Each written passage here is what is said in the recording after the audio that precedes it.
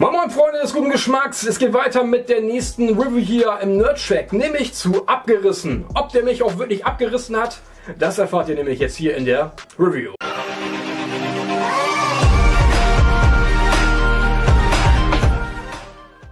Abgerissen ist eine russische Produktion, die, wie es scheint, so sehen, heißt ja abgerissen. Wir sehen hier eine, eine, ja, eine Gondel wo, also wenn man natürlich mit einer ähm, Lift sag mal, zu, zum Berghof fahren will.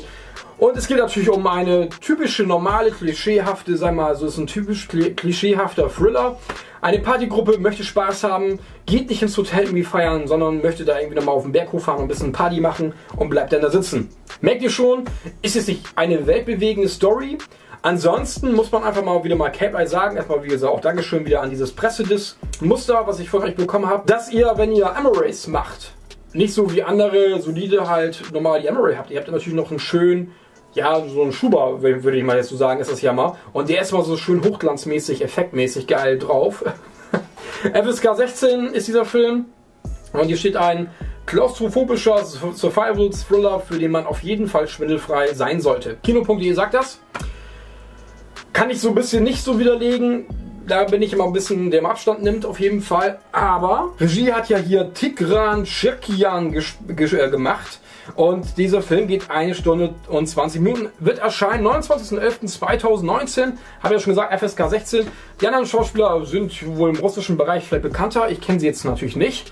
Aber ich gebe ja wirklich jeden Film eine Chance und ich finde das ja ganz gut, dass Wright auch auf jeden Fall russische Produktion, italienische Produktion, natürlich auch amerikanische, alles mögliches Programm nimmt, was wirklich vielleicht auch Spaß machen könnte. Ähm, hat auch anfangs so ein bisschen war es interessant, aber manchmal sind da so, aber was, was ich gut fand, so die Idee. Okay, die Idee es ist ein netter Thriller, so eine Art. Ähm, habe auch so gedacht, okay, nicht zu lange Laufzeit, kann man kurzweilig sich mal anschauen. Von der Idee her gab es schon mal sowas in, in der Art. Ähm, ich weiß nur nicht, wie der Film noch hieß. Da waren sie dann halt oben in so auch so einer so, ein, so ein Skilift waren sie auch gefangen, der, der, ist dann stehen geblieben und unten waren dann Wölfe und sie wurden dann, ja wie das dann ist, sie ne, abgestürzt, gerissen, äh, wurden von den Wölfen gerissen und hier ist es ja nichts anderes. Ne? Abgerissen ist auch so die Stunden vergehen und es ist ja. Das Problem ist einfach an diesem Film teilweise, wie sich dann halt nach dem Skript die ganzen Charaktere ein bisschen dümmlich anstellen. Das hat mir einfach nicht Spaß gemacht. Ich habe mir nur sich einfach so gedacht, oh Alter, was macht ihr denn da in der Art? Vielleicht nur aus einem russischen Produktionsfilm, wo man sagt, das ist wie im Deutschen, wo man sich manchmal am Kopf schlägt, aber so die Kamera, das Bild war wirklich gut gewesen. Das hat mich überrascht. Ähm, man merkt so, dass auch die anderen Länder so auf Fahrt nehmen und auch daraus gelernt haben und ein bisschen Richtung Hollywood gehen möchten. Und ähm, das kann man einfach sagen, dass wieder Caplight im Bild und Ton wirklich hier abgeliefert hat. Extras haben wir jetzt ja auch nicht äh, ganz viele drauf. Ähm, ich glaube, ich habe es auch gar nicht, ich, ich, bin ja nicht immer so der, ich gucke Extras, wenn mich das interessiert, aber jetzt hier habe ich das gar nicht geschaut, was hier drauf ist. Aber ansonsten ist es ein wirklich unter ja, es ist ein mittelmäßiger Film, ne? so, den man sich anschauen kann, mit, mit ein paar, paar Freunden, ein Bierchen, aber das war es auch dann gewesen. Also war es nicht für mich, wo ich sagen muss, war jetzt eine Überraschung, so wie bei The First King, da könnt ihr doch mal gerne reinschauen in die Review.